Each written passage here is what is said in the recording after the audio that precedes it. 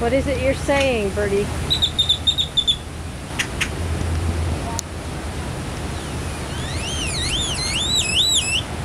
Suppose that's an ambulance sound?